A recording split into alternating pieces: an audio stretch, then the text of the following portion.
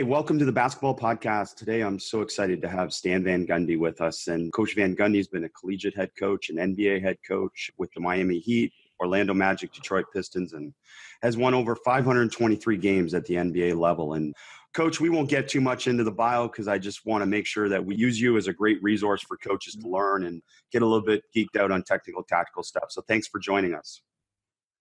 Okay, glad to be here.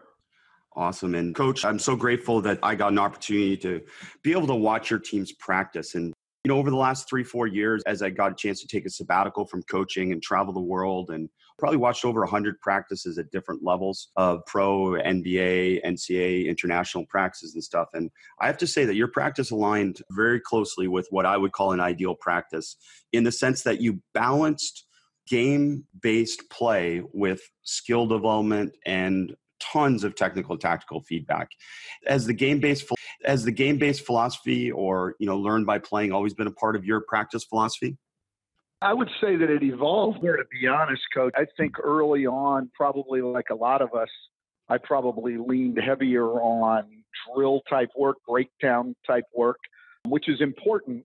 But I think I did that at the expense of five on five type work.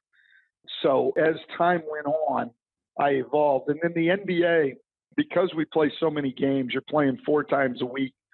The biggest problem you have as a coach is finding the right balance between work and rest. I think that's always a problem. Whereas in college, I mean, you, you would get four practices in a week and probably get a good two hours in every practice, even later in the year, maybe an hour and a half. In the NBA, it's a lot harder to put that kind of time in and then expect guys to go out and play 36, 38 minutes every night. And so you have to be very efficient with the time you have, time you have. And because of that, with, with more limited time, I leaned a lot more toward four on four defensive work, five on five offensive work than anything else. And then, of course, as you mentioned, skill development, a lot of that pre and post practice some of it we put in the practice, but that's pretty much what we were left with was those things when you get into an NBA season. Well, and I noticed a conscious effort. I'm assuming it was a conscious effort to, like, even though you were doing a lot of four on four or five on five, you weren't doing a lot of full court trips with it. And that has a lot to do with, I assume, the workload management part of it. That when you do end up going full court, you put more demands on your players. No question about it. I mean, when we get in training camp or even early in the season where you don't tend to play as many games, they give you a little bit more time to get into it. You would see a lot more full court work from us. But as you get into the C four times a week, going up and down at a pretty good pace, we try to cut the running part out. Not totally, but certainly limit it to times where you get two days in between games and things like that. You get those rare practices occasionally in the NBA where you get a practice after a day off. That's when you can go a little harder and get up and down, but you certainly cannot do it on a regular basis all year long. A lot of teams, quite honestly, don't do much live work during the season. You know, they'll run some what we call dummy offense against no defense and maybe a little bit of breakdown stuff, but they're not going to do much live work. I still like to go live, keep it in the half court, maybe keep practice shorter, but I think it's important that for our development as a team that we're still doing uh, live work. And it's important for coaches to understand because I think sometimes they have this fear of a game-based practice practice that it's too demanding. But as you mentioned, you can manipulate whether you go full court or half court. You can obviously manipulate the length of the possession, all these different things that lead into it that can help you manage workload as well as, again, get purposeful reps. And, you know, the other part, coach, I want to highlight and ask you about is that you would actually stop things and coach things, which seems like such a bizarre thing to ask a coach. But at so many practices I saw, coaches wouldn't stop and provide any type of technical, tactical feedback within play they would do it all as summary feedback. Can you talk about kind of your philosophy in terms of providing feedback to players within this the type of practices that you run? Well, look, I think that any of us who, who teach understand that you need that immediate feedback to be able to make corrections. So, you know, if you're going to let things go and then 10 minutes later make some generalized comments, that's hard for a player to. And so I think it's a mm-hmm. necessity that when a mistake is made, it's addressed as soon as possible, which allows those guys to then say, okay, this is what I did wrong. And now you come right back to another repetition and they're able to have a chance to do it correctly. And that was tremendous to see at the NBA level because, again, I think there's sometimes an assumption that NBA players are well formed and you don't have to coach them. But just like all levels, we have to coach them and we have to provide them feedback because ultimately, by and large, what I saw, and maybe this is your experience or not, but NBA players want to get better. They do generally want to improve. There's absolutely no question about that. I think players at all levels do. I think as much as anything, that's what they expect out of coaches, especially in a practice setting, is that you will coach them and help make them better. And, and I think NBA players understand that the more they improve, have to to make the longer their careers are going to last, all of those things. And so I think for them, it's very, very important that they have somebody they think can help them get better. And if coached, I think they respond to that very well. And in that process, we talk about sometimes at the youth level that you kind of have to have an agreement with players that you have to communicate with them and help them understand the value of feedback and that it's not criticism, it's meant to be constructive. Do you have to have those conversations with NBA players sometimes too? All the time. And look, the word criticism has taken on a bad meaning, but it isn't a negative term, even. I mean, you know, criticism goes back to being critical, and critical is, you know, we're analyzing what's going on and seeing ways we can do things better. And I think as long as the focus is on doing things better, players respond well. Now, can do things better. And I think as long as the focus is on doing things better, players respond well. Now, I'll admit that I, like anybody else at times, can get into what I would call negativity, which is hmm. simply to tell them how bad they're playing with no real positive correction. That serves no value. Maybe venting for us as coaches, but it serves no value.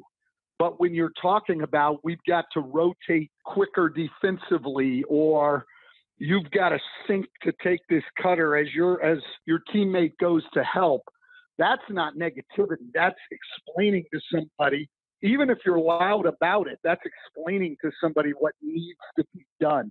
That I think is valuable. The negativity of just we're playing, you know, like crap today. That doesn't do anybody any good. It, there's what can they do with that? That's not helping anybody improve. That's just saying you're doing a poor job. What you need to follow that up with is this is what we need to do better and being as specific as you can. You know, I mean, a lot of times it may be an effort thing where you say we've got to play harder, but to me, that still doesn't address what you're expecting out of the player. What is it you want him to do harder? What does he have to make his rotation quicker? Does he have to run harder on the fast break? Does he have to get off the floor to rebound the ball better? You know, I think you need to be specific about those things, what you want, rather than just generalize things that I think players have a hard time doing anything with. Such a great point. The coach speak that we use all the time, even when we generalize and say, hey, we've got to rebound better. Well, that's great. That's something specific. Such a great point. The coach speak that we use all the time, even when we generalize and say, hey, we've got to rebound better well, that's great. That's something specific. But really, when we say we, do we really mean just Johnny and Todd? Like, we need to be even more specific sometimes, as, as you said. If your players understand that criticism is something that's helpful and not negative, then you're able to do those things and more specifically get to the point that can help them improve. Well, yeah, I think you're absolutely right, coach. And sometimes it's the we is easier on us as coaches. There's not a direct confrontation, if you will, because you certainly, you know, when you're saying we, no one tends to be really upset, but you'd also a lot of times aren't making the correction that needs to be made. But when you say, hey, John, you got to start blocking him out. He's killing us on the offensive glass. Get a body on him when the shot's in the air. And even more specifically to us, it might stick a forearm in his chest and then block out. You know, you've got to say those things and you've got to identify where the problem is. And the problem, a lot of times, like you say, is not generalized. Hey, John, you need to do a better job here.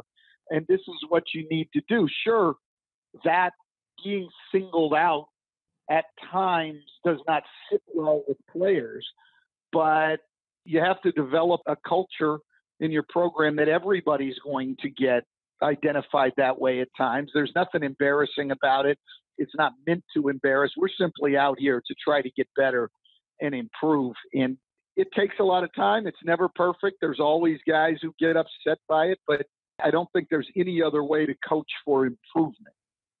No, that's great. And you know, and when you say we, everyone thinks they're talking about someone else. so that's another. Part. That's absolutely right. And players use that term yeah. all the time. You know, we've that's absolutely right. And players use that term yeah. all the time. You know, we've got to pass the ball more, which means you've got to get me the ball more. yeah. You know, things like that. And you're right. I mean, look, my impression of just people in general is they really tend to be, you know, conflict averse. You know, they just don't want to get into a confrontation. And so you use very general terms. And I understand that. I don't think any of us likes confrontation necessarily. But if you're not going to address the root of the problem and what needs to be improved, then it's more than likely not going to be improved. Coach, with that, then, how do you handle your frustration with a player who's struggling to do what's best for themselves or for the team? How do you handle that? Well, well, that all depends. I mean, I think first you've got to try problems and figure out what's going wrong. It and this is something that I think that we don't do often enough as coaches is I think the first place you have to look is maybe we're not teaching this guy well. I mean, maybe it's the way we're approaching it. Maybe our teaching isn't good, or maybe this guy learns a little bit differently and we've got to try something else, which involves a lot of communication with the player, talking to them, asking them questions, making sure they have an understanding. And then I think from there, if they do have an understanding of what you're talking about and what needs to be done, and they still can't get the job done on the court, now there's a lot of areas you can look at. Number one, their effort is just not good enough.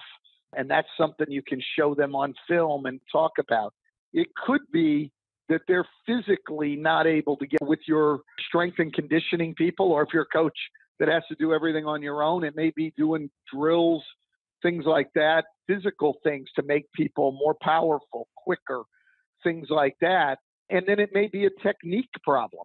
They may understand what you want them to accomplish, and they may have the physical ability to do it, but their technique is poor. We find that a lot on the defensive end of the floor.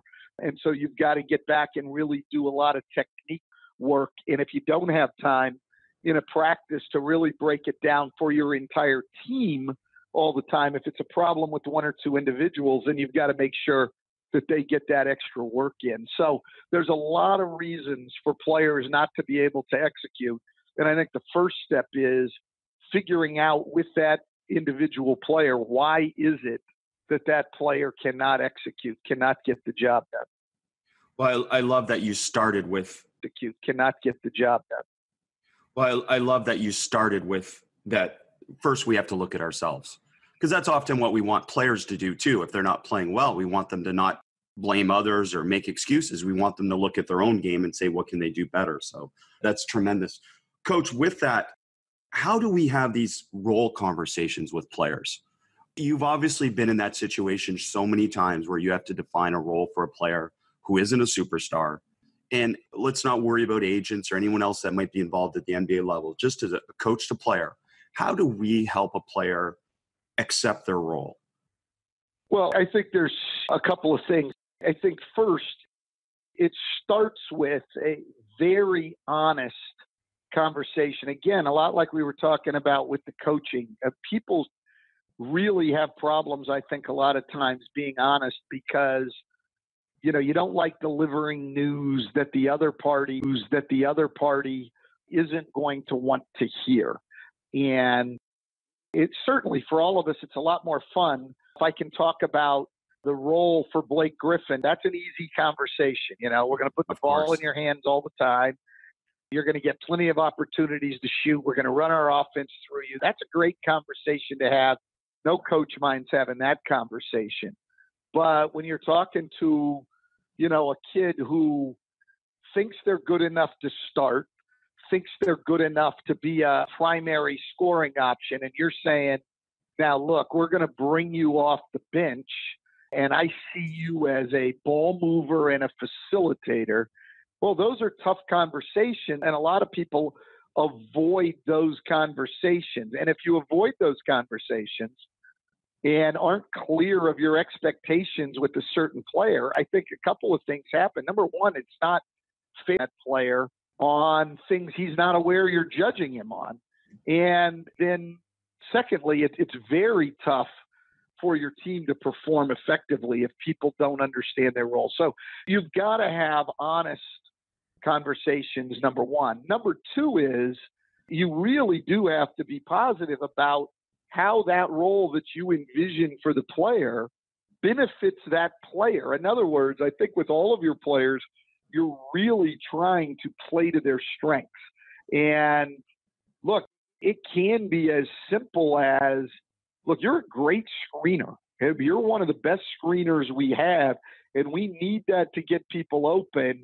And look, Tommy, you're going to find the better screens you set, the more you're going to be open, as we all know as coaches. So I do think as you get into role definition, besides just being honest, you have to let the player know how it's going. Besides just being honest, you have to let the player know how it's going to benefit him and what you're trying to do to put him in a position to succeed, play to his strengths, disguise his weaknesses.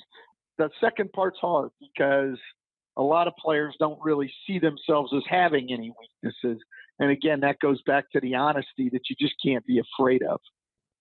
Oh, that's great. And I mean, so many coaches are in those situations. And you're right, it's such a difficult conversation. And I guess this leads me to a really interesting question for me is as an NBA head coach, are there things that you would have done if it wasn't for maybe the stigma or the beliefs that players have? Like, say it's something that a player, like, or it's rooted in tradition or it's just something that they do. Like, are there certain things that limit you sometimes as a coach at the NBA level because of tradition or because of players' beliefs or agents' beliefs? Or certainly those can come up. You know, I, think the biggest one in the NBA now is things have changed over the. I mean, I came into the league in 1995, and at that time, practice and even hard physical practices were accepted as the norm, and that's become less and less and less every year to the point now there's quite honestly quite a few teams that don't practice much at all, almost never do anything live. If they do practice, it's going to be really, really short. And so if you're a coach now that really believes in practice and believes in doing things I mean, players would say the old school way. I would just say the way that makes us better. If you believe in that, it does get difficult because this belief has seeped into the NBA mindset that what we need is rest and always rest. And so, as coaches, I, like I said before, you struggle, at least I did, with the balance between work and rest. The players always think it should be more rest and they have friends on other teams and those teams are playing well and yet they don't practice much and it has become accepted by a lot of NBA players now that that's the way things should be. There should not be a lot of practice and work. I, don't happen to believe that. And and so at times that's a hard sell and you do have to give a little bit to them. So I think all of us I think you know, the guys I know, myself, Erik Spoelstra, Steve Clifford, Tom Thibodeau, the guys I know that still very much believe in practice and things, I think you would find even there that all of us practice shorter and do a little bit less live contact work than we did 10 than we did 10, 15 years ago because you know what players' mindsets are. We won't give in all the way. We're certainly not going to not practice or do live work, but you do understand the mindset that's out there. And so, yeah, you do do things a little bit differently, at least, than you would in a vacuum. It's a great answer, and it's great to understand too, because I, I, think at all levels, I mean, we're influenced somewhat by factors other than sometimes what's just our number one belief of what we should be doing. And I'm curious as well if it's something as, as simple as ball screen defense, and you have the greatest plan in your mind going into a situation, but your players don't buy in, then it's not the greatest plan. Is that, no, that part that's of the absolutely process? right. Well, yeah, I think that any of us in coaching, and I don't care what level, being able to sell the way that you want to play and what your expectations are is huge. When I was growing up playing, there was really no thought of that, right? I mean, you were going to play the way the coach said because he's the coach. I mean, that's all it was. Our world has changed. And I think, quite honestly, it's a positive. I think it's a positive now that players and just people in general in school question things and want to know why. And then, you know, they're certainly going to have their own value judgments of, you know, of whether or not that's a good way to go. I have personally liked that as a coach. It's one of the things I think has helped me more than anything as an NBA coach because, quite honestly, if you can't answer the question of why we're doing it this way, then you haven't done a good job thinking it out, and you shouldn't expect players to buy into it. If you have thought it out, which you know, hopefully you have, you'll be able to explain it, and, and quite honestly, you'll have given it a lot more thought than a player has. So the player will have than a player has. So the player will have, in most cases, a an idea on, say, defending the pick and roll that is a sort of off the top of his head or something he's seen once or twice. Meanwhile, you've watched hours and hours of film and can come back and show him on film and cite statistics and explain what you're going to do. And in most cases, the vast majority of cases, the player is going to come around and understand. I think more than anything, a lot of times they just want to be assured that this is something that you've really thought about. And so when they're saying, well, why don't we do it this way? I think their belief becomes greater when you can answer that question in great detail and they understand exactly what it is that you want to do. I had an assistant, Brendan Malone, who was the first head coach of the Toronto Raptors, and I had him as an assistant in both Orlando and Detroit. And he would constantly remind me. I, when I say constantly, I'm going to say almost daily. He would always say to me, "Coach the why, coach the why. Make sure we coach the why." Which basically means that players have to understand why we're doing it this way. And it's not a good answer to say because that's the way coach wants it done. The answer is this is best because of a, B, C, and D. And so he would always tell me, coach the why. And I, and I think that's huge in getting buy in from the players. Well, and I saw that at your practices. I saw that there was open dialogue, you know, within the practice between coaches and players, and there was communication and there was questions. And I think that's such a positive part of a great learning environment. Coach, maybe switching gears a little bit here. What type of things are on your suit pocket card? what are on your game day card that you have every game or that you have from a game to game basis that coaches should be thinking about handy for them?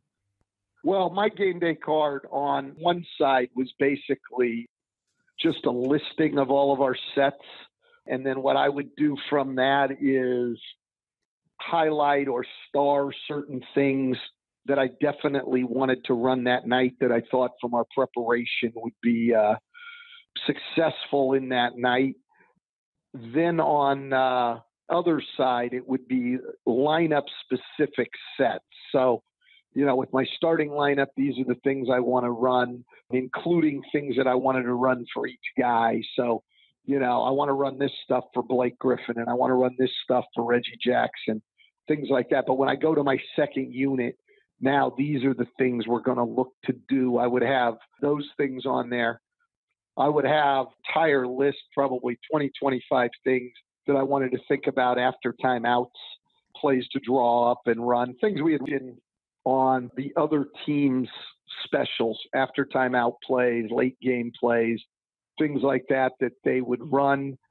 I would have their free throw shooting on there. So if we had to foul people late in the game, I would always have their stuff on there. So really a lot of stuff, but but different sections so that in the course of the game I was basically feeding off my lineup related sets, things I wanted to run. If I come to a timeout, I would turn to that section looking for plays I wanted to run after a timeout. If it was late game and the other team had the ball, I'd have their specials there. So I knew where everything was on my card. I'd all wanted it on one card, but yeah, that I could get to the things that I needed to get to. Well, it's a lot of information, obviously. So having that card is handy. And coach, let's get into special situations then, because you talked about not practicing a lot at the NBA level, but the game day shoot around becomes the shoot around becomes the practice essentially, right? Like is a game day shoot around where you're going through special situations, you're reviewing plays. Is that what you're doing, or are you going through the other opponent's sets? Like what's the main part of the game day shoot around in your mind? Well, so for us, you know, we would be on the floor an hour, sometimes a little more, particularly early in the year. We're probably going to use 40 to 45 minutes of that going through how we want to defend our opponents. So we're going to walk through, you know, a high percentage of their sets, certainly more than our players thought that we should do on every given day. I mean, we're going to go through a lot of stuff, but making sure that we understand our principles, really focusing on things we're making an adjustment away from maybe our normal principles because of personnel or whatever. So we're going to spend most of our time on that personnel or whatever. So we're going to spend most of our time on that. We're going to spend 15 to 20 minutes on offense. If there's plays that we haven't run a lot lately, maybe haven't worked on a lot lately, but we think will be successful in that game. We'll go over those. If it's a team, let's say, which is rare in the NBA, where you're either going to see press or zone, you'll review that stuff. And then usually, you know, because you don't have a lot of that stuff to go over, you're going to have 10 minutes or more to, you know, review uh, out of bounds and in late game situations, things like that, special plays that don't come up a lot that we didn't spend a ton of practice time on necessarily, but we would review them in the walkthrough. And for special situations or ATOs, would they always be something that your players have seen at some point, even if it wasn't during that game day shoot, so they in general can pick that up? How does that work in terms of that? Most of the time, it was going to be something that we had practiced and worked on. There have been times where I have drawn up something that we haven't worked on. To be honest with you, I think the success rate of those things tends to be a lot lower. Your execution isn't as good. I would draw things up more if they were very, very simple. It was basically a one screen, or we're going to get the ball to a guy in an isolation type situation late in the game, or simply get the ball inbounds and get to a high pick and roll, something like that. Anything that had more than one option would not be something that I would just draw up. You know, that would have to be something that we worked on. But if it was a quick one option thing, you could draw it up. NBA players are very smart. Most of them pick things up very quickly. Some guys are that would have to be something that we worked on. But if it was a quick one option thing, you could draw it up. NBA players are very smart. Most of them pick things up very quickly. Some guys are better than others at seeing things on a diagram and being able to do it. Some of them, even the smartest ones who pick things up quickly, need to do it on the floor. I mean, simply looking at a diagram just doesn't make as much sense to them. And so, again, I would only do that if it was a very simple type play. And that leads into the approach to timeouts. Are there, are there any strategies that you can share with coaches about how to get players to focus within timeouts or even to check for understanding? Like, you know, the whole thing, like, you guys get it, you understand? Well, of course, they're going to say yes. But are there specific strategies that you found through your career that help with timeout focus and timeout understanding? Well, I think number one, it's something that you have to practice from time to time. We know when you're in training time to time. We know when you're in training camp, things like that, to be able to call a timeout, draw something up. I think that's important for them to give them practice of doing that. But it's also important for you as a coach, especially if you have new players, to understand going into a season who's capable of doing that, taking a play out of diagram and being able to go out and execute it, and who isn't. And, and those guys, if you're going to have them in the game, you need to stick to stuff that you've run over and over and over again. So, so I think you know, like anything else in the game, you've got to practice it. I think as you're doing things in the huddle, you really have to be checking for focus and eye contact, concentration, and things like that. There's so many things going on in an NBA timeout. You know, I mean, uh, the dancers are out there, and there's stuff playing. You know, there's music blaring. There's you know stuff on the screens. It, it's not an ideal situation for people to concentrate There's, you know stuff on the screens. It, it's not an ideal situation for people to concentrate, and so you have to make sure that they are tuned in and and yeah, you can you know with certain guys and especially that you know you can say at the end of it, okay, what are you doing on this play after it's explained and, and see if they've got it. Even with all of that, you're still going to have times where guys come out and just blank, but you got to know who those guys are because if it's a late game situation, those are guys that are tough to have in the game. Oh, that's great. Good advice. And there's definitely a lot going on in an NBA timeout. There's no question that always challenges players to focus. So, coach, if you could choose one thing for an assistant coach to do in a game that helps you the most, what would it be? One thing. Well, Getting to one thing would be hard, but I think to me, if you have a, an assistant coach who's on the floor, the opponent's defense, and figure out ways that we can exploit that and get good shots. I mean, the thing where I struggle more than anything in a game, and I think every coach a little bit different in this, is when you're struggling offensively, what are we going to do to get a shot? And I think guys who can really recognize defense and see where there are openings, either things you can call or adjustments you can make or an after timeout play or anything, not just a guess, not just throwing out, hey, let's try this, but, you know, really well reasoned out, you know, they're playing us this way, we can get this or what's going to be open. They're forcing our pick and roll in the middle of the floor left and pulling in. So where we're going to be open is in the weak side corner, the right corner, to get our best shooter down there. Things like that that help you get better offense is where I wanted the help. I, I pretty much could recognize things on the floor pretty easily in terms of defensive adjustments that needed to be made. But if I could get offensive help, that's what I wanted more than anything. But again, for different assistants can help you in different ways. I think your question's the first one. What do you as a head coach need? And that involves you recognizing your own strengths and weaknesses too. But also, what are the strengths and weaknesses of your staff? So I had a guy like Tim Hardaway who you know, was an NBA All Star and a point guard and had a great understanding of the game and saw the floor, and he was very good with finding things offensively that would be open. Now, at times you can have guys with a lot less experience, and maybe where they can help you is simply the black and white of keeping the black and white of keeping something statistically that you think is important, whether it's you know deflections or blockouts or fast break points or the number of times you get the ball into the paint offensively. I think with less experienced assistants, having a chore like that on the bench, something you can use, you know, to say, hey, we haven't gotten the ball in the paint on five straight possessions. We're not attacking the defense. Not only something you can mention to your team, but affects you in terms of what sets you want to run that may give you a better chance to get the ball down in there. So, like with everything and like with players, it depends on everyone's strengths and weaknesses, I think.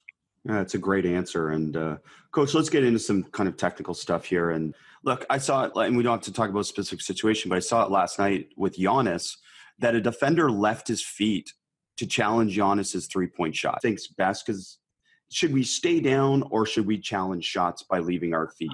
Like we all say second off the ground, but hey, easier said than done. So, what is the best practice in your mind right now? Well, I think it is that. I think it's be the second jumper.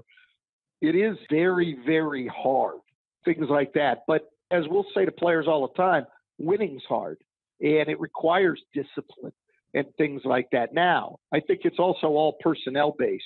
I mean, I would never leave my feet on a Giannis shot fake on the perimeter, regardless. When we had, we didn't do it as much as other teams, but when we switched a big onto a perimeter player on a pick and roll, we didn't want them to ever jump, ever. Play with the hand up, jump shot over the top, try to contain the ball, but never jump on anybody's jump shot because big guys I have found more susceptible to shot fakes than anyone else on anybody's jump shot because big guys I have found more susceptible to shot fakes than anyone else. But for the most part, we taught just what you said. We're going to be the second jumper, and you've got to stay down until that guy goes up. And I think a lot of it involves a lot of defense, I think. And this one, I haven't been as successful as I would like getting across to players, but I think involves your eyes and where you're locked in. If my eyes are locked in on someone's midsection on their gut, I don't get faked as much. Pass fakes, foot fakes on the dribble, shot fakes, any of that. Anytime I'm ball watching, I'm going to be very, very susceptible. So to me, something like that, it's a discipline issue. But I really think a lot of individual defense on the ball comes down to your eyes. And it comes up to the other example, which is like it's easy to say, okay, let's stay in the paint, don't leave the paint if Giannis is on the th- on someone like that, versus you know obviously saying, hey, shoot it. We want you to shoot it. Is that a difficult balance in the NBA nowadays? It's hard actually because you know you do have to listen to your players, especially your better defenders, on some of those things. Because if you back up, like on Ben Simmons and on Giannis, if you're, going to play them in the paint, they're going to bring the ball all the way to you and then just spin off of contact, and you've let them get all the way into the paint it's easy for them. So certainly the ball has to be picked up out on the floor a little bit more. We pretty much wanted to pick everybody up at the three point line. And then from there, we could play you with a little bit of a cushion. I also think when you pick the ball up higher, if they're running pick and roll, if you pick the ball up higher, it's easy to go under. If, if you're going to pick the ball up inside of the top of the key, and then they come up and set a ball up inside of the top of the key, and then they come up and set a pick and roll, and you're trying to go under that pick because the guy's not a great shooter. He's already into the paint. And so, yeah, I personally think even with non shooters, you've got to pick the ball up out on the floor. Now, you're going to cushion enough that you can't. Our rule was basically you're going to play with enough cushion that you never get beat by the first step. So there's no way Ben Simmons or Giannis can take one step and be by you. That step will still be in front of you. So you're basically playing a little bit more than a step off. And then it comes down to, you know, the little things, just like you were talking about. We're not going up on shot fakes. You know, we're not going to worry if they shoot the ball, even if they make one or two. We're going to stay disciplined to what we believe. That's great. One step doesn't beat you. That's such an important part of that. And coach, the mid post up seems to be another trend. One step doesn't beat you. That's such an important part of that. And coach, the mid post up seems to be another trend. If you look at Blake Griffin or some of these guys, they're in the middle of the free throw line posting up now. And I think we have a pretty good understanding of some of the things you can do in the low post in terms of covering a low post up, which again doesn't happen as much nowadays. What are some strategies to be able to cover that mid post up? Because it's really hard to help in the middle of the floor. There's no question. And I think that's why you see more and more people trying to run offense in the middle of the floor, whether it's pick and rolls in the middle of the floor, throwing to guys at the elbow or right at the free throw line and playing off of there because it is a lot harder to load your defense up when there's when the ball's not on one side of the floor. So I think the first thing is, you know, with all of us, going to try to limit those catches in the middle of the floor or at least extend them. So rather than letting that guy catch the ball at the free throw line or a better chance to be able to defend and more time for your help to get there on a drive. So I, I think where the ball is caught is huge. And then you've got to, uh, even when it's there, you've got to shrink the floor and, and be as packed in as you can to get help on those great players with a real knowledge of personnel on the floor. So with the ball in the middle of the floor, let's say top of the key, we would want to play close to the NBA elbow. But that depends. If you're on Kyle Korver, you're not going to be as close to that elbow. And if you're on, if Joel Embiid is isolated and you're on Ben Simmons, you can really be off the help. So there's always a personnel component. But you're going to have to shrink the floor and get help to those guys as much as you can. But that's a lot easier if you've got the catch extended out on the floor. And that raises the question of situational denial, which again, I, I, know there's so many teams below the NBA, so many teams below the NBA level that pack line and different things like that. But the trends I see in the NBA or certainly in Europe more is situational denial. So whether you call it top blocking or denial, whatever you call it, like those situations seem to be, again, I assume they're more personnel driven in your experience than they are are they set driven or do you go into a game plan sometimes saying hey let's top block JJ Redick so he can't come to the ball on his first step is it stuff like that yeah. that's driving that well on, on, that stuff like on, on a guy coming off a screen yeah that'll be different based on where the screen is on the floor or a lot on who you're playing against so and trying to take away their strengths. I don't think we ever had a time where we okay with letting them catch the ball at the elbow. Now, we weren't very good at it at times. I think guys get a little lazy there. Are guys catching the ball at the elbow back to the basket. They don't think that's a huge threat, so they don't extend the catch enough. But I, from a coaching standpoint, we tried to emphasize that was one area. We're not a denial team on the wing, on the perimeter, catches at the three point line and stuff, but we never wanted the ball caught at the free throw line or the elbow. I just think that's an area that makes it very, very tough to defend. I mean, a guy hits cutters from there. They're running dribble handoffs. They can isolate there. It's tough. So some of them are basic principles you're going to have all the time. But guys running off screens, things like that, yeah, that would be personnel related. Well, and the other part that you raise there is is like players sometimes don't deny, say, the high post or whatever, because they get blamed for the back door when the reality is it's the help that's responsible for the back door. But I think a misunderstood part about NBA defenses, as you mentioned already about shooters or different people you're covering, it's really hard to be in help one pass or two passes away, sometimes based on personnel. So how would you frame that for a player in terms of forcing to catch higher? Because again, pass or two passes away, sometimes based on personnel. So how would you frame that for a player in terms of forcing to catch higher, but they get beat back door in terms of responsibility? Well, we shouldn't get beat back door because, again, our priority is not to deny necessarily, which would mean not letting the guy catch the ball. I mean, the term we used most of the time was extend the catch. And so there were two things. We talked about a contact denial. So a hand on the guy's hip and the arm in the passing lane, forcing him to step out to catch the ball, but not getting all the way up where we have no contact with the guy where we're getting back cut. So we didn't want the back cut. Yes, there should be help, but we did not want back cuts at all. We simply wanted to extend the guy up the floor. Yeah, it's great. And what are you supposed to do nowadays in the NBA one pass away on defense? Coaches start to be thinking about like can you run and jump different matchups? Can you do different things to disrupt occasionally and gamble? Or should it be just be straight up? Sometimes we're going to give up a layup because we can't help one pass away. Well, look, I think that's a big philosophical decision for any coach. I think that's where it's it starts before you get into any game plan on opponents. Philosophy, you know, I think that ideally, I mean, the, the perfect NBA defense would limit a team's free throw attempts because it's the highest percentage shot in the game, layup attempts, the second highest percentage, and limit three point attempts, which is the third highest percentage in the game.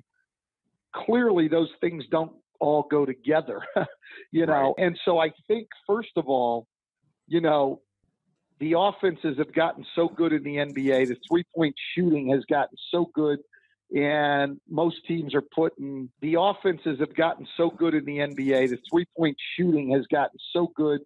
And most teams are putting four guys out there that can shoot the three and sometimes five.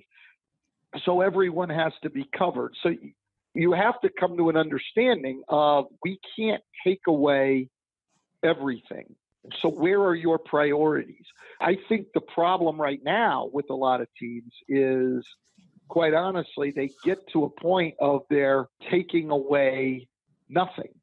And the three has, I think, really had a psychological effect on coaches and players defensively. So, people are so afraid of giving up threes, which is still the third most efficient shot in the game. Not the most efficient, not the second most efficient, but the third most efficient shot in the game. And yet it seems like it's every, a lot of teams just opening up the most efficient, but the third most efficient shot in the game. And yet it seems like it's every, a lot of teams' first priority defensively because the three bothers them so much that now we're just opening up the floor and letting the ball go to the basket for layups or trying to stop the layup for fouls. So, got to decide how you're going to do that. I think the preeminent idea in the NBA now is first of all, we're not going to put two guys on the ball to leave somebody open, so we're going to switch everything. But now what I see is they're switching things, and then you're leaving your power forward or center on a guy like Kyrie Irving one on one, and you're not really helping because of not wanting to give up the three. And those guys are just torching you. And that's why you see a guy like Kemba Walker getting Kyrie have full 40 point games now. But then there are teams like Milwaukee who has had a lot of success this year defensively is they switch nothing and they absolutely pack the paint and they're going to take that stuff away and then try to close out. So they are giving up a lot of three point attempts, but they have good length. They play hard. They've been able, for the most part, to limit people's three point percentage to a reasonable number. And they're not giving up layups and they're not sending people to the free throw line. It's going to be very difficult to take away all three of those things. So you got to decide where your priorities are. And to me, I would focus more on limiting free throws and layups than I would on the threes. That's interesting. And you said the part about switching too, and it can be demoralizing to the player that switches on to Kyrie or, or Kemba because, again, they're going to listen. I mean, this is how we're going to get beat. If they're going to beat us, it's doing this. So it's not your fault. This is our strategy. And that's got to be a part of the sell that you're you're giving to your players in those situations, isn't it? Well, there's no question about that because again, you've got to decide what it is you're trying to take away and you've got to expect your players to be very disciplined to that and then they have to understand that okay hey look i we got beat on this but you know this is what coach wants as a scheme and this is why this is how we're going to play it and you got to live with some of it and i would say to players a lot of times on baskets that's on me you know there's ones that yeah, you got beat. That's on me. That's how we're going to play. We'll make adjustments if we need to, but you do have to have a, a basic philosophy. I think it's funny actually watching right now to me because as I look at people's defense, a lot of guys who can supposedly trying to limit threes are giving up a lot of layups and points in the paint. I think the teams like Memphis and Milwaukee who have really focused on keeping the ball out of the paint have been the successful defensive teams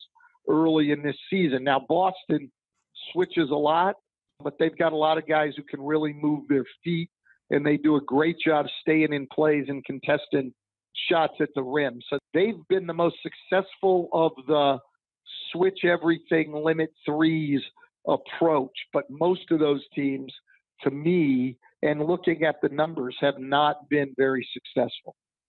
Yeah, it's going to be interesting because I mean, there's such great coaching at the NBA level, and I, I, believe it so many levels that we'll see how coaches figure it out. But the other thing, obviously, there's a rise in dribble handoffs. You know, they're not new, but certainly some teams are running so many dribble handoffs. And is there a method of covering dribble handoffs that you think is not new, but certainly some teams are running so many dribble handoffs? And is there a method of covering dribble handoffs that you think is best overall? Or is it simply, again, we've got to keep changing so the defense or so the offense never knows exactly how it's going to be covered? Or what's the philosophy nowadays with dribble handoffs? Well, I think there's a lot of ways you can cover them, and, and a lot of it's going to be personnel related. I think a couple things are constant. Number one is I always think we focus on the guy who's going to receive the dribble handoff, but it really starts with the guy with the ball. Number one, if we can extend his catch out on the floor. And then with us, we wanted to try to pressure that guy as he put the ball on the floor. I think too many times we let those big guys just take one or two dribbles to wherever they want to go on the floor, totally unpressured, where they can now be lining up the defender for a screen, screen, hand the ball off quick, cleanly, all of that stuff. I think you've got to get pressure on those guys to begin with. With us, our big emphasis on the guy coming to the ball was to still make him come to the ball. I mean, I think what you see a lot, so many of these guys are, are so good without the ball, and they want to deny you the ball coming to the handoff. And so you end up giving up a lot of back cuts in those situations. Turn on any NBA game, and you're going to see multiple back cuts off of dribble handoffs every night. And so, again, I think you have to be disciplined. It's hard. You're playing a guy like JJ Redick, playing a guy like Khris Middleton or Kyle Korver or Klay Thompson, Steph Curry, these great shooters. And, you know, you don't want them to be able to come off and shoot the ball cleanly. And so you start trying to beat them to the spot and deny on the ball, push the guy coming to the handoff to the ball. And then you've either got to try to, at the point of intersection, try to blow it up and get through, get an arm in there on the handoff, or on certain guys, not the great shooters, but on others, you can go under and go between the man handing the ball off and your teammate and get through. But most of the time we were coming over the top. Then we're playing it like a pick and roll. The big is playing between the ball and the basket. At times we would blitz or trap that handoff, but if we weren't, the big would stay between the ball and the basket and until the guard could get back in front. And if he really got nailed and couldn't get back in front, then we'd have to veer back, which ends up being a switch. But that wasn't the preferred way of, of playing it. Right. And uh, veer is a term that I heard a lot at your practices. Can you just quickly explain that to coaches, what a veer is? Yeah, we're trying to get through, stay with our own. Quickly explain that to coaches, what a veer is. Yeah, we're trying to get through, stay with our own man, get back in front of the ball. But if that ball turns a corner, and really a great guideline is if the big guy who's helping has to turn his shoulders because the ball just turns a corner and goes to the rim, then the guard is going to simply veer back to his teammates, man, to the big guy. It ends up being a switch. The difference is we're not switching that as a game plan thing. We're not going into it saying we're switching this dribble handoff or we're switching this pick and roll.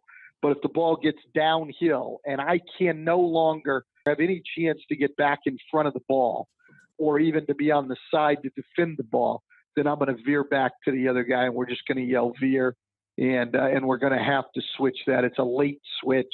The problem, it's a scheme. It's something you need to have. Guards sort of, unless you really stay on them, take the easy way out and turn every handoff into a veer back, so they don't have to work to get over the screen and to get back in front of the ball. So you're always fighting human nature a little bit. And I will encourage coaches below the NBA level to take a look at the concept because it's something that's helped us since I've seen you guys do it it's helped us tremendously solve problems right like inevitably offense makes the right decision versus our defense or one of our defenders makes a mistake and the veer or late switch has helped us solve problems where otherwise we might be in trouble if we didn't do it and it's become a part of our defense which has been interesting so coach the other thing as you're talking like i've always thought about this and maybe it's a bad idea maybe you've seen it before is it possible to ice dribble handoffs? Because that lateral dribble, you talked about pressuring the dribbler, which I totally understand and get that philosophy. But the other part, if it's a non shooter, dribbling to a handoff, is it part, which I totally understand and get that philosophy. But the other part, if it's a non-shooter dribbling to a handoff, is it possible to drop and to almost ice that handoff, or is that something that's a little crazy? Because it's hard to turn and shoot on a lateral dribble. No, it is, and it's certainly possible. The the problem is, is most guys are going to be good enough if you're going to drop when they have the ball, even if they're non-shooters, they're simply going to dribble the ball right at you down into the paint. Now they're at six feet and one quick spin and they're at the rim. So we wanted to go the other way and pressure the ball, even with guys who weren't shooters. You can drop. There are people who did drop on us. Uh, the Brooklyn Nets, Kenny Atkinson against non shooting bigs. As soon as their guy gets the ball, he actually drops all the way down in front of the rim. Then they can really pressure and try to deny the handoff because there's no backdoor pass because rim, then they can really pressure and try to deny the handoff because there's no backdoor pass because the big is right there. But there's also no ball pressure. And so we were able to run our offense pretty effectively. The other thing that became a problem is, you know, we had a great offensive rebounder in Andre Drummond. And so when that big was back under there, it was hard for him to keep Andre from having a running start at the rim when somebody got a shot off. So he always had great success against them on the offensive glass. So there's no scheme that's perfect, but I would say if people are interested in that, playing non shooters that way, Brooklyn would be a good team to watch.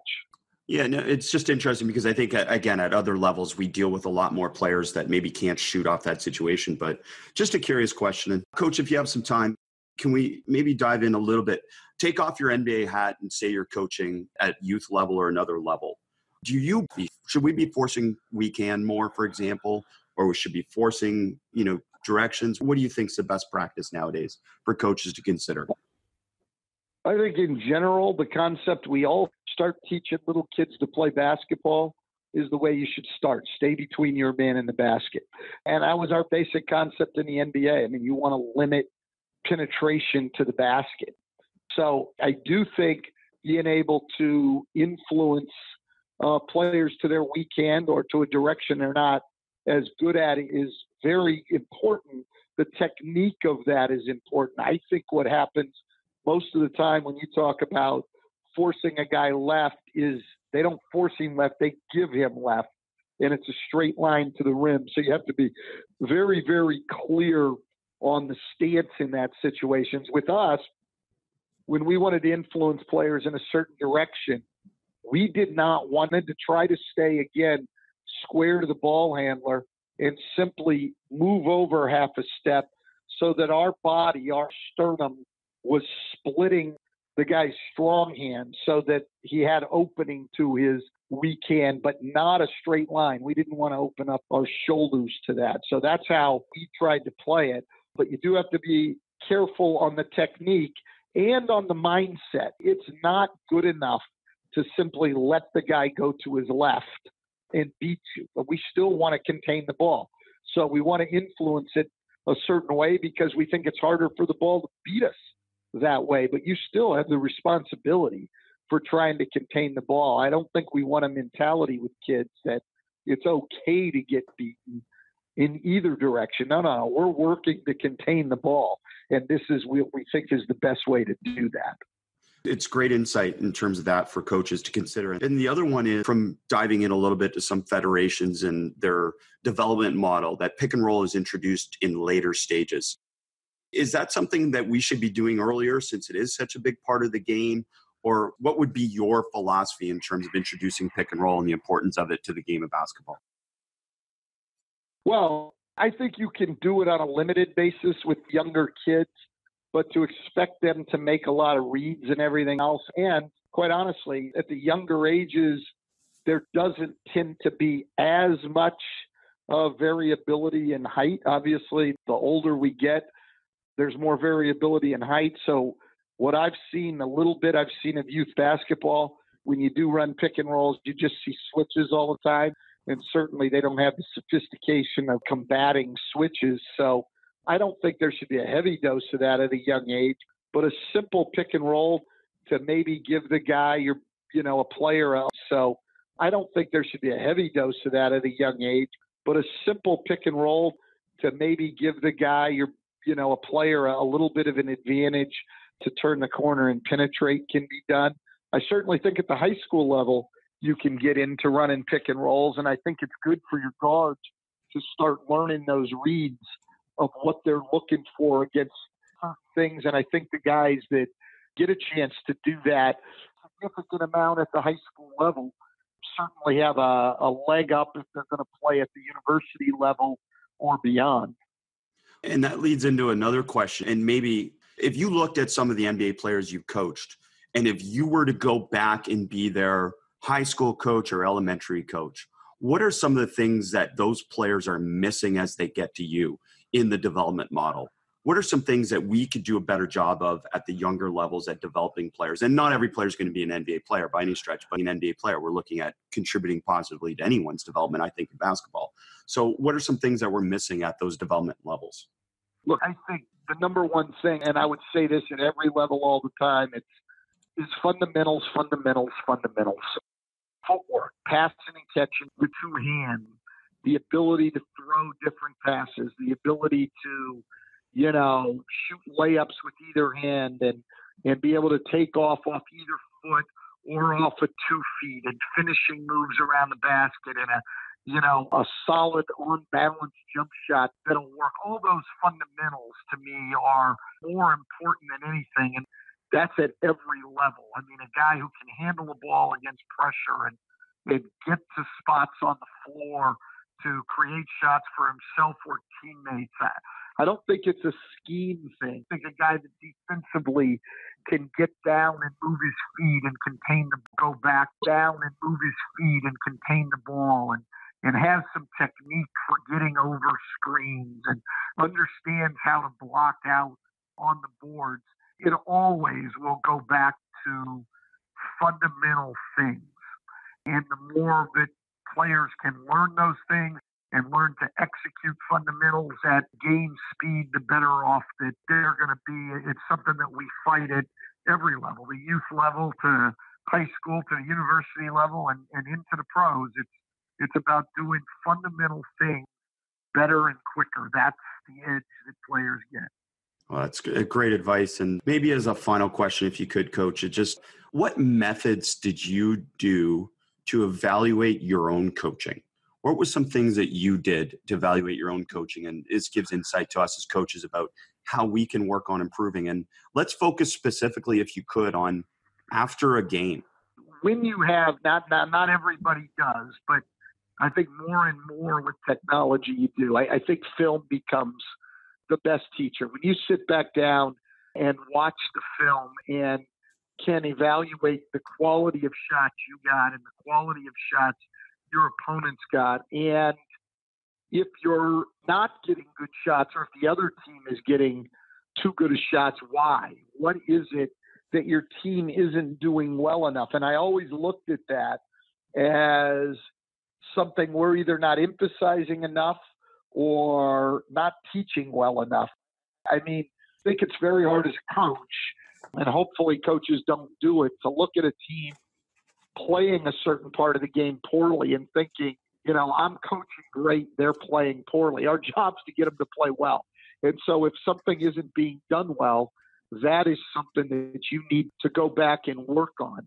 Dick isn't being done well, that is something that you need to go back and work on. Dick Bennett, the best college coach I ever saw in the United States, son Tony is at Virginia now. Dick once said to me, Watch your team and they'll tell you what you need to work on. And I think that is so true. And so when you're evaluating yourself as a coach and you're saying, Boy, we don't take care of the ball. Well, you're looking and co- you got a lot of guys throwing one handed passes, not catching the ball with two hands things like that, you're not coaching that well enough. So we need to go work on that the next day, however you think's best.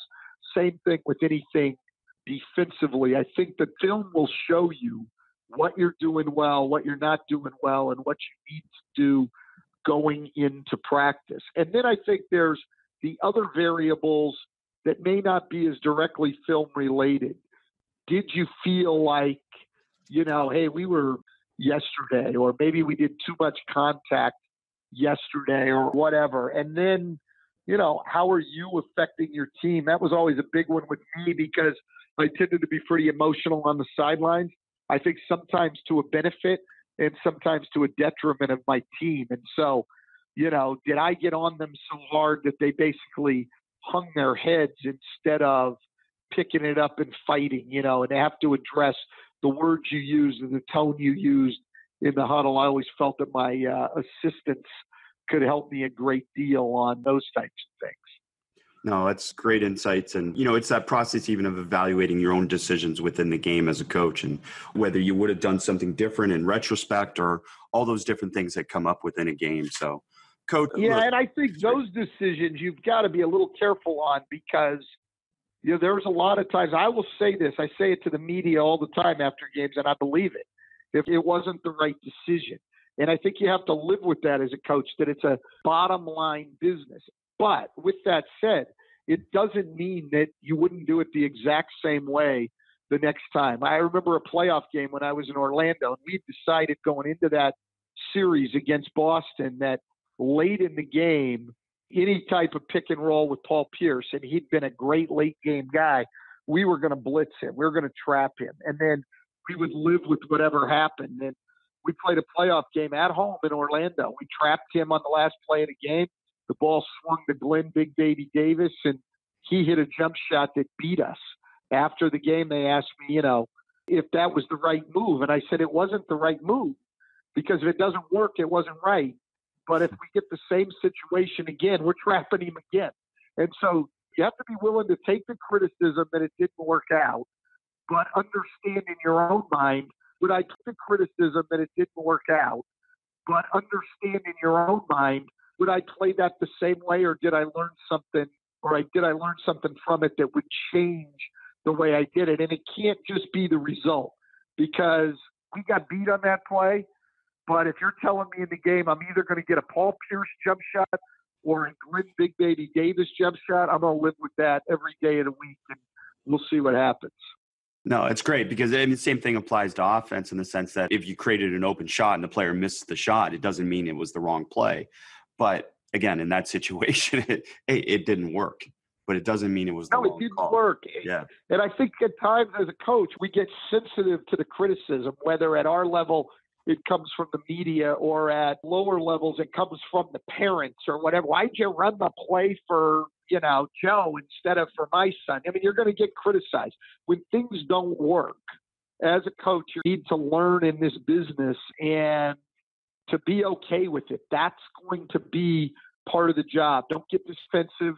Don't get sensitive to it. Be able to objectively look at it yourself and understand if it doesn't work, I'm going to take the criticism, but I'm going to objectively analyze if I were in that situation again, am I comfortable with what we got? If you are, you move on with that conviction. If you're not, you make the change the next time. But don't change just because the result didn't go and you got some criticism. I mean, I think a lot of people at the lower levels where you can't advance the ball, you know, after a timeout late in the game, a lot of people will call timeout because if you don't call timeout on the last shot and you let your team run it up the floor and they miss, that's always going to invite criticism. If you call the timeout and set something up, even if it doesn't work the floor, but you can't coach worried about criticism because if the better way to get a good shot in your mind is to get the ball up the floor in an unstructured situation, then that's what you should do and damn the criticism. But it's just to me, coaches in general, biggest thing you have to be prepared for as a young coach, especially, you're going to get criticized. Every game your team does not win, you're going to get criticized by somebody your players, the parents, the media, you know, whoever it may be. And you better come to grips with that early on, or it's going to be very hard for you to uh, remain in this business. Great point. And obviously, the part about the outcome skews the evaluation. I mean, I imagine your recall of games is pretty good after the games, but until you watch that film and actually review it on your own, sometimes you're either too hard on what happened or you're going, hey, we played really well. But then I watch the film and go on your own. Sometimes you're either too hard on what happened or you're going, hey, we played really well. But then I watch the film and go, wow, sometimes we just made plays that weren't out of good things that we did. And that it's such an imperfect game that it obviously causes that internal struggle all the time. There's no question. And, and I think that's also why a lot of times you're much better off evaluating the film when the uh, emotion has calmed down a little bit. As a head coach, for me, I think I always did a better job with the film the next day than I did right after the game. Sometimes on back to back games, you're doing it right after the game, and the result would filter into how I looked at the film. Whereas if I did it the next morning, I could objectively evaluate it like you're saying and say, you know what, we actually played well offensively. I didn't think we did during the game, but we played well offensively. We simply didn't make shots, or vice versa. You know, hey, I what needs it, but we just made a lot of tough shots. Our execution was poor. Our passing wasn't good. Our screening wasn't good. Our shot making got us through. You have to be able to evaluate objectively to know what needs improvement. If you're always focused on the result, I think your team's going to be very up and down because you're going to really go to work after you lose on correcting things and you're going to let a lot of things slide when you win. And so sustained excellence becomes very, very difficult. Yeah, again, so many great shares here, Coach. Thanks so much. I mean, fantastic knowledge for coaches to uh, stimulate their coaching and I so appreciate you taking time. Obviously, we could go on and on and on with all these scenarios because you're you're so knowledgeable and you've thought so deeply about things. But I just want to thank you for taking the time uh, to be able to share with our coaches and to stimulate their thinking. And I don't know if you have a last thought to leave them with, but we look forward to our coaches and to stimulate their thinking. And I don't know if you have a last thought to leave them with, but we look forward to watching you in the future, wherever you're coaching or wherever you're talking about basketball. Well, thank you very much. And yeah, I would just say to everyone that it's a great profession. And what you've done in the past uh, year or so here to watching other coaches work in practice is the greatest teaching experience there is. And I, I would say to any coach, any chance they get to watch other teams practice, to watch other team, other coaches work is the way that they're going to learn. And then in this profession, we all need to support each other because there's no one outside of coaching that understands what this is all about. They think they do, but they don't. And so if we don't support each other, it makes the job even more difficult. Maybe that opens up a whole new conversation, but isn't it surprising how little camaraderie there is sometimes amongst coaches? And I don't know what the NBA seems to have changed a lot over the years. And maybe it's that we're not in situations to hang out, but that is such an excellent point about how we can share together. And there's a coach, actually, a collegiate coach, that said that he invites every coach that comes to their gym to play them over for dinner the night before. And he said, say there's, you know, 15 home games in the year. He said only three coaches took him up on the offer. Which, you know, whether that's the right thing or not, it's just really true that it's like, it's me against you mentality. Right. No, and, and I think that look, where whether for some people it just may be the timing of it in the season, but but I do think that having support system of other coaches, however you go about it, and not necessarily just other basketball coaches. I mean, I have learned a lot from coaches in every sport because we're handling a lot of the same situations in communication with players, best methods of teaching, managing work and rest, practice organization, also a lot of outside criticism of people who think they know how we should do our jobs, but they don't understand what coaching is really about. And, and I think both for support and for learning, you've got to have relationships with other coaches.